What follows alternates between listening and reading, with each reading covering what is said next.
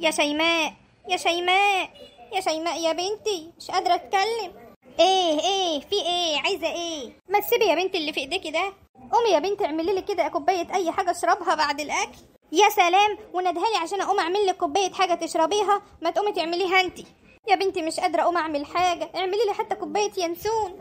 بقول لك إيه؟ أي حاجة عايزة تعمليها قومي اعمليها لنفسك. حرام عليكي يا بنتي حرام عليكي. بقول لك إيه؟ ما تقرفنيش في عيشتي.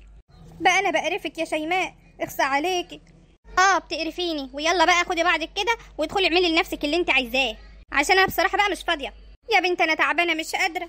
إيه ده؟ في إيه ده يا بنتي؟ إيه الجحود اللي انت فيه ده؟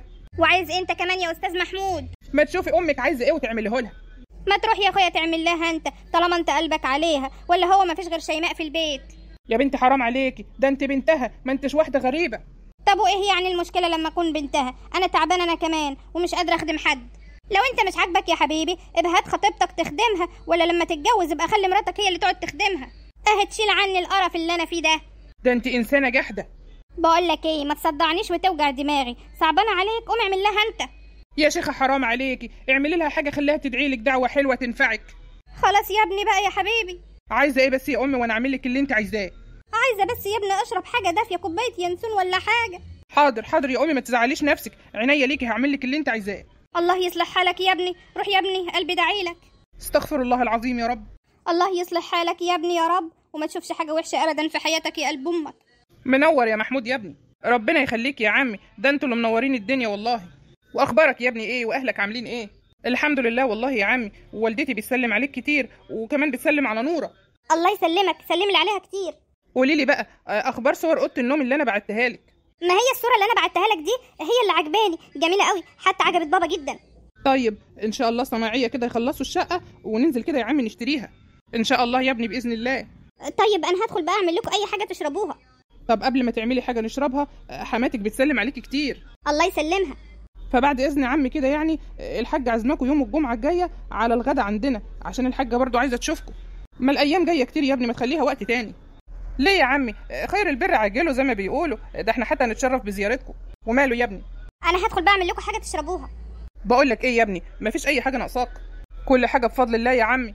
بره النسب وبره الجواز وبره أي حاجة يا ابني. أنا عينيا الاتنين ليك. ده أنت غالي عليا قوي والله. وأنت كمان يا عمي والله غالي عليا. ربنا يعلم إيه اللي في القلوب. ربنا يديم المعروف.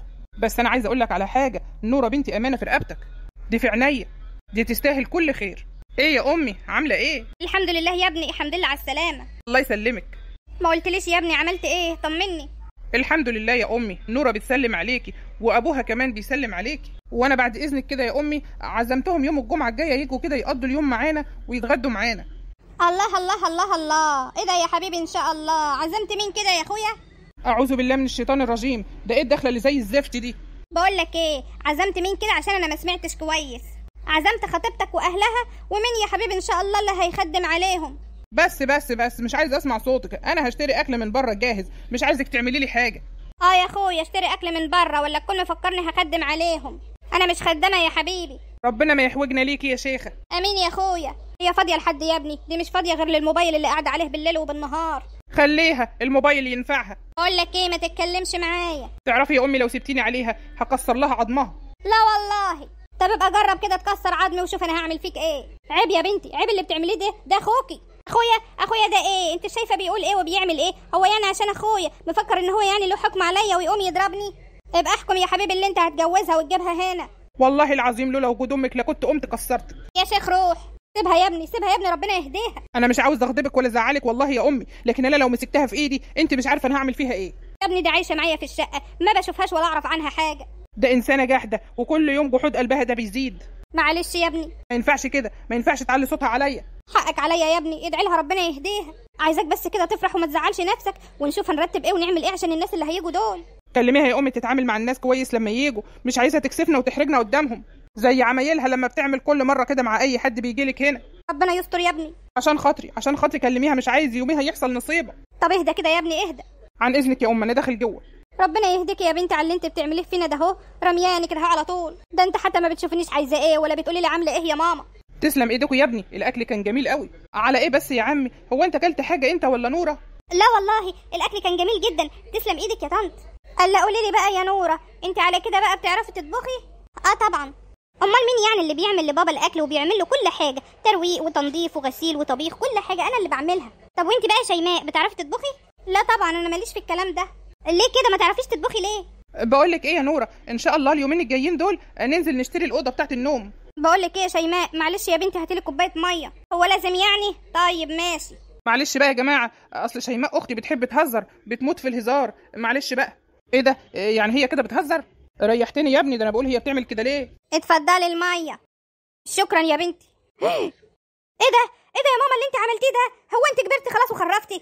ما انتش قادرة تمسكي الكوباية. هو في حد يعمل كده؟ في إيه يا بنتي؟ لسانك طويل كده ليه؟ اللي حصل حصل. إيه المشكلة يعني لما الكوباية وقعت على الأرض؟ ما هي غرقت السجادة يا محمود ولا انت مش شايفها؟